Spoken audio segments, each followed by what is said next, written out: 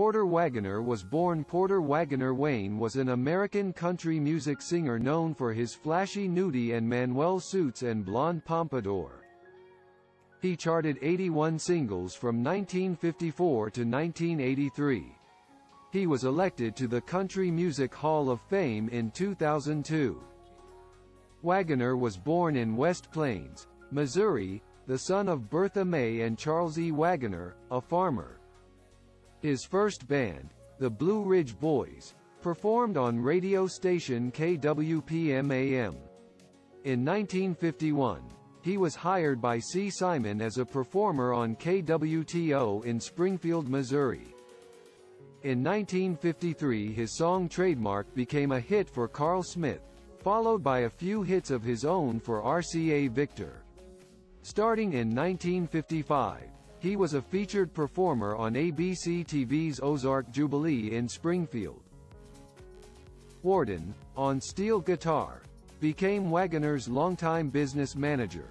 Among his hit duets with Dolly Parton were a remake of Tom Paxton's The Last Thing on My Mind, 1967, The Right Combination, 1972, Please Don't Stop Loving Me, No. 1, 1974, and Making Plans, Number 2, 1980. He also won three Grammy Awards for gospel recordings. His syndicated television program, The Porter Wagoner Show, aired from 1960 to 1981.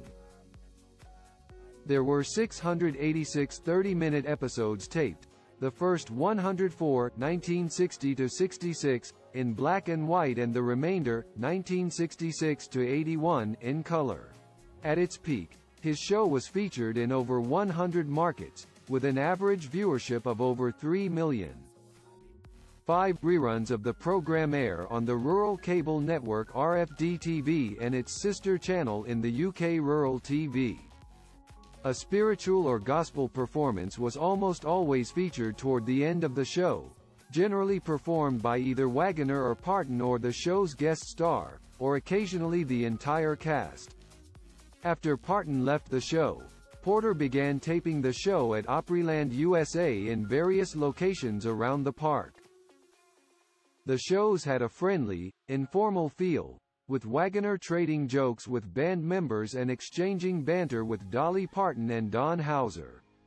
In 1974, Dolly Parton's song I Will Always Love You, written about her professional break from Wagoner, went to number one on the country music charts. He also hosted Opry Backstage during the 1990s on the Nashville Network. Though Parton's departure was difficult for both, the two reconciled in the late 1980s and appeared together with a number of times in the following years. Parton inducted Wagoner into the Country Music Hall of Fame in 2002. Wagoner made a guest appearance on the HBO comedy series Da Ali G Show in 2004, its second season, interviewed by Borat Sagdiyev. Wagoner was honored on May 19, 2007, his 80th birthday, at the Grand Ole Opry for his 50 years of membership.